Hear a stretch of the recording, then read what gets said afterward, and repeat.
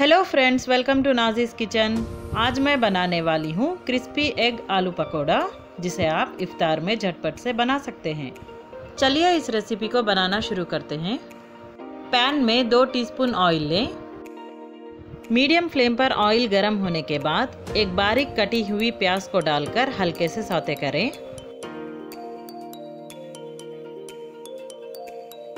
पाव tea spoon हल्दी डालकर अच्छे से मिक्स करें।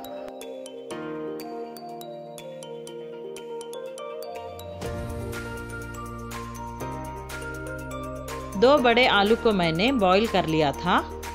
अब इसे थोड़ा सा स्मैश करके इसमें डाल लें।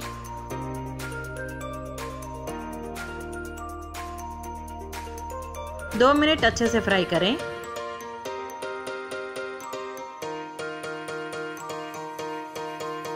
अब इसमें आधा टीस्पून लाल मिर्च, पाव टी स्पून धनिया पाउडर, पाव टी स्पून जीरा पाउडर, आधा टीस्पून नमक आधा टीस्पून चाट मसाला पाउडर डालकर अच्छे से मिक्स करें।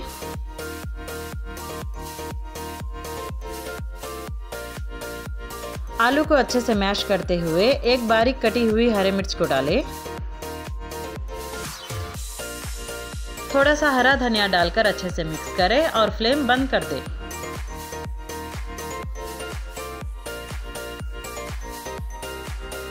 अब इसे ठंडा होने के लिए साइड में रख दें। मैंने यहाँ दो अंडों को बॉईल करके टू इक्वल हाफ्स में कट कर लिया है। एक अंडे को अच्छे से फेंट लें।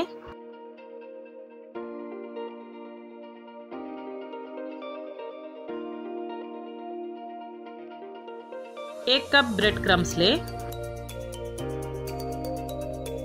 आलू अच्छे से ठंडे हो चुके हैं, अब इसे हाथों से मैश कर ले। हाथों में ऑयल अप्लाई करने के बाद थोड़ा सा आलू लेकर हथेली पर इस तरीके से स्प्रेड करें।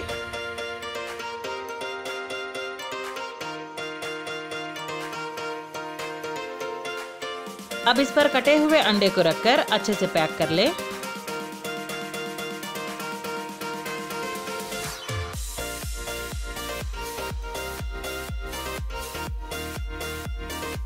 ध्यान रखें, हमें अंडे को आलू से कम्प्लीटली कवर करना है।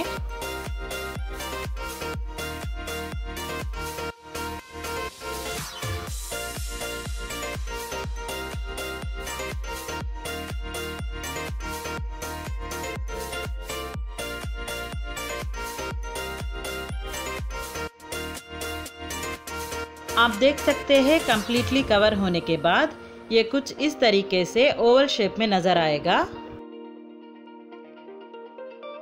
अब इसे अंडे में डिप करें।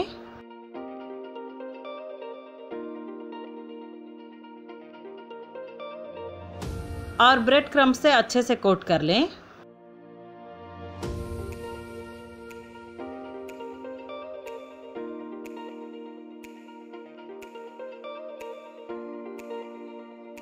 सारे इसी तरीके से तैयार कर लें।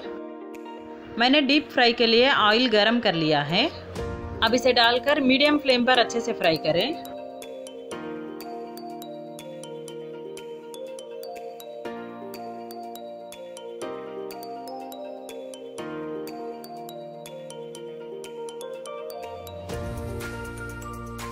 करीब तीन मिनट के बाद आप देख सकते हैं, लाइट ब्राउन कलर आ चुका है। अब इसे दूसरी साइड फ्लिप करें।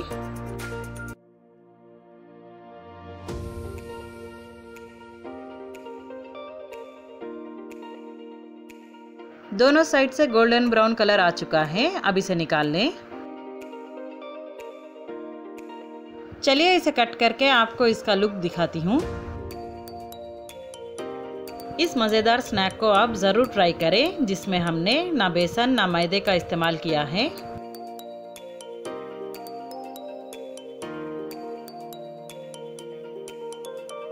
इसे आप सॉस के साथ या फिर कोई भी चटनी के साथ सर्व कर सकते हैं। हमारा गर्मा गर्म एग आलू पकौड़ा खाने के लिए रेडी है।